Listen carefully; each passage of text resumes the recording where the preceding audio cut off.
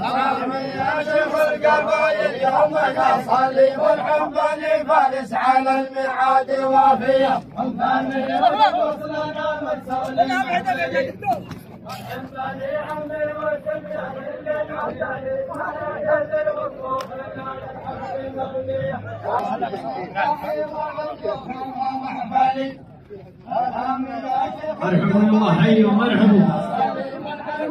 فارس على الميعاد وافيه الثاني وصلنا مرسولي مهدلي الحنبلي عمي وسميان للعجل وأنا يزل وقوف سلام من ومحفلي. سلامي يا شيخ القبايل يوم نصلي والعنبني فارس على الميعاد وافيه.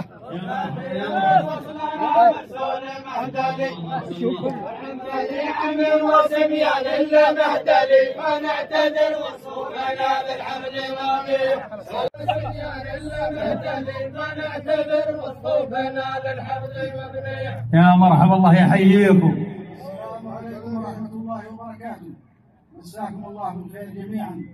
الحمد لله رب العالمين والصلاة والسلام على رسوله الأمين. الحمد لله على نعمة الإسلام وعلى نعمة الأمن والأمان في خير الأوطان.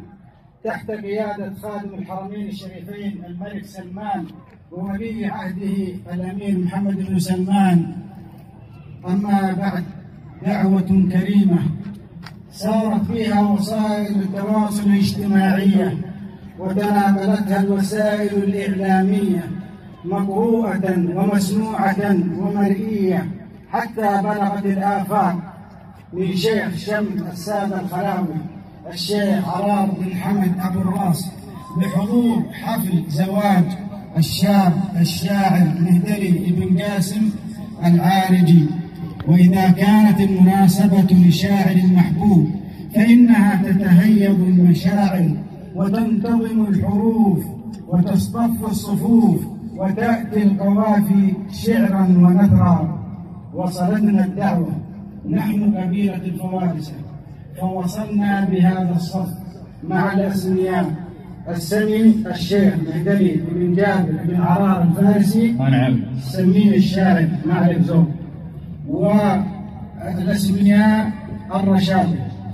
والسماية علاقة وثيقة وميثاق صادق وشاهد على المعزة والمودة والمحبة. فخر في الرخاء تولد بميلاد السمي وتكبر كل يوم كالعمر لكنها لا تشيب ولا تشيخ. تمتد ما بقيت الأجيال لا تقتصر على السميين بل تشمل الأسرتين والقبيلتين. السماية فخر في الرخاء وعدة في الشدة ونور في الظلام وظل في الحر. سعة عند الضيق والكربة وصلنا ومعنا معونة من الفوارس ومن الأسمياء مبلغ وقدره عشرون ألف ريال. ريال من الشيخ علي بن موسى الوائلي وبني عمه.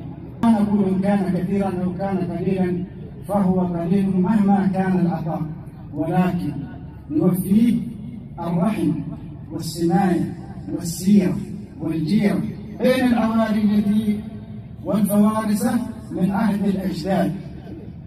المبلغ العشرون ألف مقسومة قسمين متساويين عشرة ألف ريال من السمي سمي العريس مهدري بن جابر عراب الفارسي. ومن سار على ساقته وعشرة ألف ريال من آه، الأسمياء الرشادة أبناء أحمد بن رشيد أهل مسلمة هناك هدايا خاصة.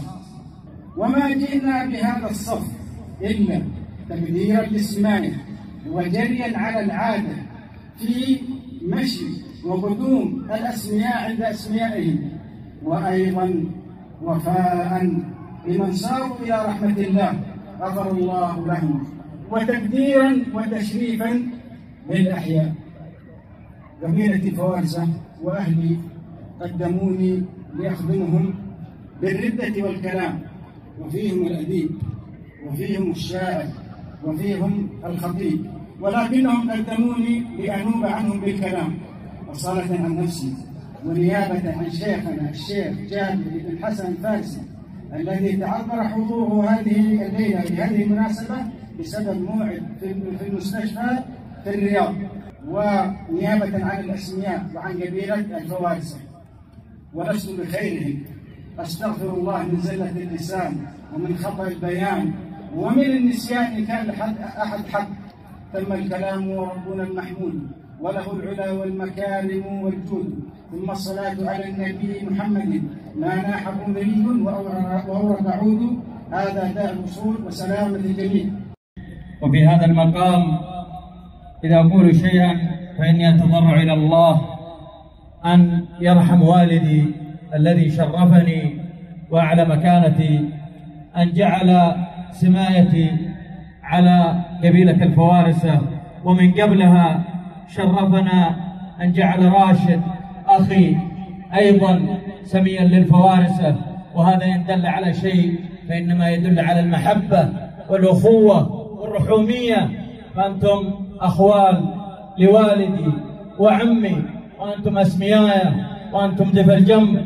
أيضا لا يفوتني أن أرحب بكم فردا فردا وأخص بالترحيب من جاء في داعية الشيخ موسى الجبر العسيري. والله يحييكم الوايلي والله يحييكم جميعا. أما أنت إبراهيم وقبيلة الفوارسة فهم أهل ودفى جنب عطاكم وافي وبتكلمكم فصيح وهداياكم مقبولة.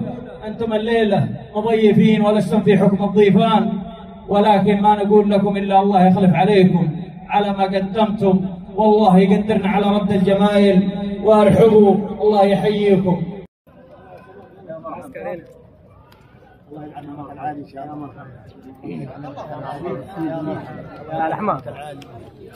الله الله يا الله يا يا